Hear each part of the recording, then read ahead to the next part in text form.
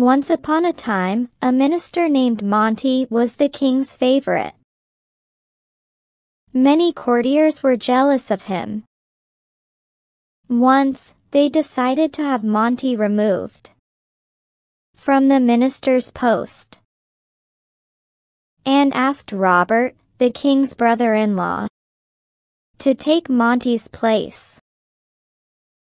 But the king will never agree. While Monty is here, said Robert. Ask your sister to plead your case with the king, said one courtier. That's a good idea, said Robert.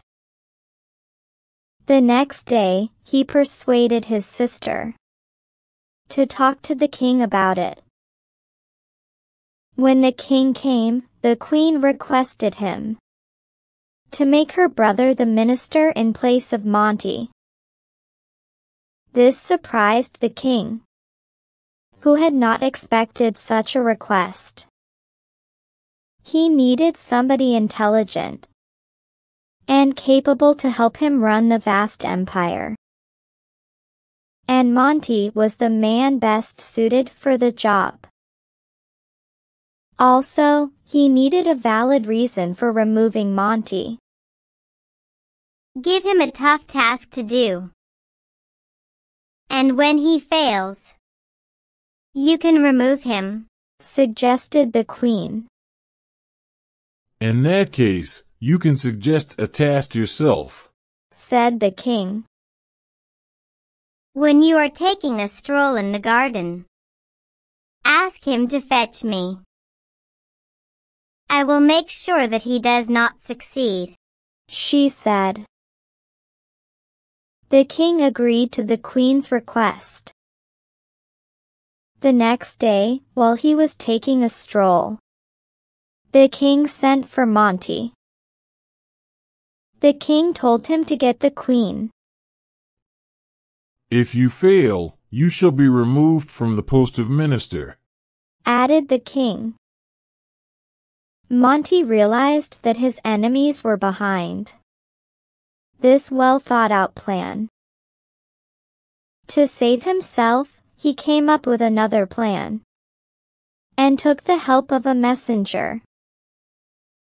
He went to the queen's palace to escort her to the king, who was in the garden. At the same moment, the messenger arrived with a private message for him. Monty excused and walked aside to hear the message. Meanwhile, the queen was curious to listen to the message. So she tried to overhear what they were saying. But the only words she could hear were, She is beautiful. Monty then went back to the queen and said, the situation has changed. You need not come, Queen. Then Monty left. But the Queen became very suspicious. She hurried to the palace garden, only to find the king alone. The king was surprised to see her there. Despite her promise, she repeated Monty's words. Just because Monty said the situation had changed. You came running here? said the king, amused. How can I tell you that it was the fear of a beautiful maiden with you that brought me here? thought the queen. Just then, Monty came. And the king said, Monty, as usual, you have won.